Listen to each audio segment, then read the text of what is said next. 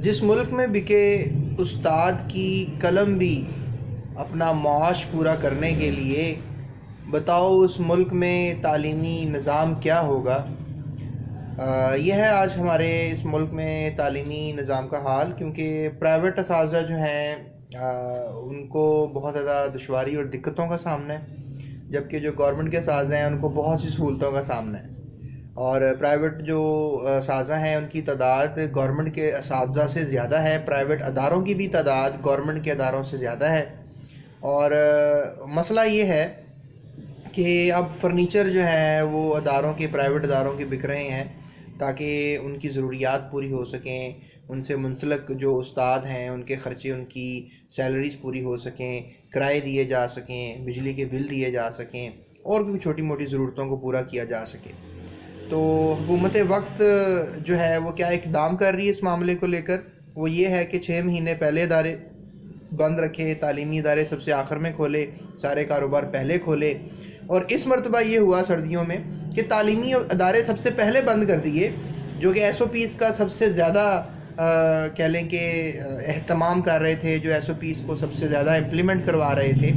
और शायद उन्होंने यही बेहतर समझा क्योंकि तालीम से, तालीम के बगैर गुजारा हो सकता है, कारोबार के बगैर नहीं।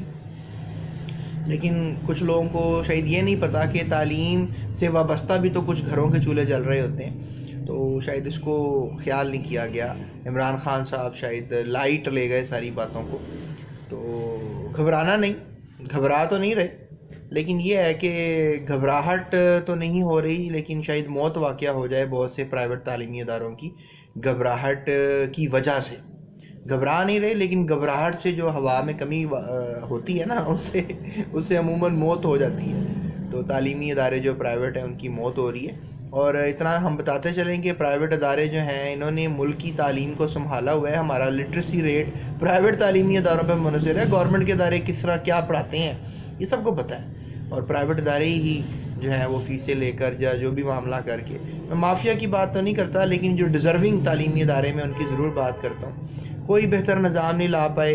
इन्होंने कहा था कि हम तालीमी निज़ाम यकसा कर देंगे, लेकिन तालीमी निज़ाम धरम भरम और तबाह हाली का शिकार होता हुआ नज़र आ रहा है। क्योंकि जब आप तालीमी इदारे बंद कर देंगे, बाकी सब कारोबार खुले रखेंगे तो हम क्या समझें? ये इस, ये किस चीज़ का मैसेज है कि साथ एक तालीमी अदारा बंद है, मस्जिदें खुली हैं, कारोबारी मकाम खुले हैं, ट्रांसपोर्ट खुली है दफ्तरी निज़ाम चल रहे हैं, सब चीज़ें नॉर्मल चल रही हैं, और सिर्फ़ एक वो जगह जहाँ बच्चों को तालीम दी जानी है, जहाँ पर इस जहन को बनाया जाना है और वो बंद है। तो लम्हा फ़िक्रिया है हकूमत वक्त के लिए, सोचने की बात है हम सब के लिए। तो बस यही कहना चाहूँगा कि तालीमी इदारों को खोल दिया जाए, इनके साथ ये नाानसाफ़ी ये जुल्म बरबरीत ना की जाए। कोरोना के ऊपर सबसे ज़्यादा अच्छी एस ओ पीज़ तालीमी अदारे ही इम्प्लीमेंट करवा रहे थे। और शायद इन्हीं को बंद करना मुनासिब समझा कि शायद अगर तालीमी अदारे खुले रह गए तो कोरोना कम हो जाएगा। तो लेकिन यह है कि मैं अच्छे की उम्मीद करता हूँ। मैं अभी भी अपने रब से नाउमीद नहीं हूँ। मैं अभी भी अपने रब से उम्मीद रखता हूँ कि इन फ़सल बहार आएगी।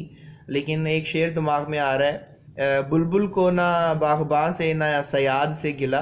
किस्मत में लिखी थी कैद फ़सल बहार में। तो ये जो फ़सल बहार है, यानी इस वक्त तालीमी इदारे का ट्रेंड टॉप पे चल रहा होता था और इस वक्त तालीमी इदारे बंद हैं तो कोई तालीमी एक्टिविटी नहीं हो रही। यूनिवर्सिटीज़ परेशान हैं कॉलेज़ परेशान हैं स्कूल परेशान है ट्यूशन सेंटर अकेडमीज़ परेशान हैं। तो हमें इस चीज़ के ऊपर बहुत ज़्यादा ख्याल और सोच फ़िक्र की ज़रूरत है, क्योंकि तालीम एक ऐसा एलिमेंट है ये एक होप है ज़िंदगी की। इलम एक ऐसी बुनियाद है किसी चीज़ की जो सब कुछ खड़ा करती है अपने ऊपर, लेकिन शायद हम इसको ही रायगां जाने दे रहे हैं।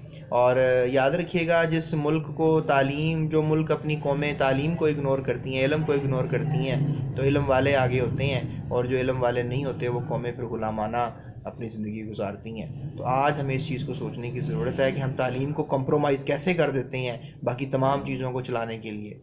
तो लिहाजा तालीम को शायद उस लिहाज से देखा नहीं जा रहा। और जो खिलाड़ी हैं, जो कारोबारी लोग हैं, शायद वो तालीम को कम समझते होंगे, लेकिन तालीम समझते वो भी काफ़ी हद तक है, लेकिन शायद वो किसी हद तक इसको इग्नोर कर देते हैं शुबे को।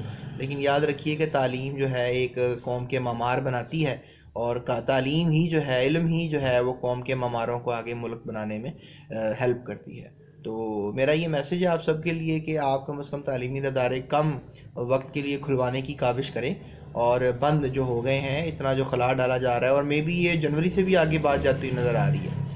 और अगर ये जनवरी से भी आगे बात चली गई, फिर तो पानी जो है वो नाक से भी चला जाएगा ऊपर। और बड़ी बुरी सूरत हाल है, इस वीडियो को शेयर करें, ताकि सुनने वाले लोग जो हैं कम अज़ कम इस पर कमेंट्स करें, ताकि एक सोशल मीडिया के थ्रू जो है ये कंपेन चलाई जाए। शादरा के लोग भी कंपेन चला रहे हैं, शादरा के लोग भी जो है वो कोशिश में लगे हुए हैं। कि भाई ये चीज़ नहीं होनी चाहिए, ये तो जुल्म हो रहा है हमारे साथ प्राइवेट इस के साथ। गवर्नमेंट इस तो बैंकों में सैलरीज आ रही हैं और जो वज़ीर हैं जिन्होंने ये अनाउंसमेंट्स की हैं, उनके तो कोई मसाइल नहीं है। उनको तो सैलरीज मिल जानी है। प्राइवेट इस के जो स्टूडेंट्स थे वो तो सब नहीं है। प्राइवेट स्कूलों के पेरेंट्स जो हैं, वो स्कूल फ़ीस ही नहीं देते हैं जब तक बच्चे पढ़ ना रहे हों। तो ये शायद मसाइल का हुकूमत वक्त को पता नहीं है। ये शायद हमारे जो वज़ी अला पंजाब साहब, बुजदार साहब हैं, उनको इस बात का इलम नहीं है। आखिर उनसे भी कोई मशावरत कर लेनी चाहिए कि भैया आप मुल्क के इस सूबे के वज़ी अला हैं। और तालीमी इदारे सिंध में देखे जाएँ, तालीमी इदारे खैबर पख्तूनख्वा में देखे जाएँ, वो भी बंद कर दिए इन्होंने, सही तरीके से काम नहीं किया जा रहा। तो इसको खोल देना चाहिए, कम अज़ कम थोड़े से वक्त के लिए खोलें, लेकिन खोल ज़रूर दें, ताकि काम ना रुके। अगर काम रुक जाएगा तो सब कुछ रुक जाएगा।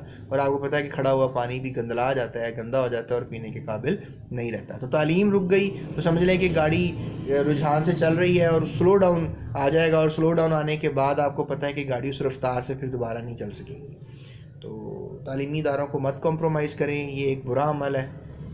हम सबको इसमें एक प्रॉपरली पार्टिसिपेट करना चाहिए कि नहीं, तालीम को कम्प्रोमाइज़ नहीं करना चाहिए। छुट्टियाँ आप कितनी कर लेंगे, कितनी फ़िल्में देख लेंगे?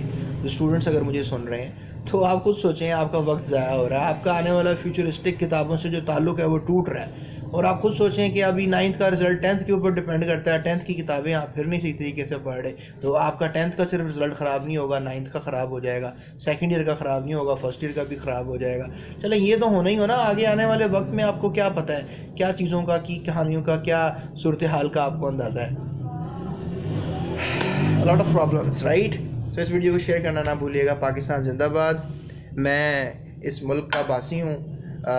मैं कोशिश करूँगा कि जितनी कोशिश कर सकता हूँ इस मुल्क के लिए और आपकी भी थोड़ी सी कोशिश रिक्वायर्ड है। Thank you so much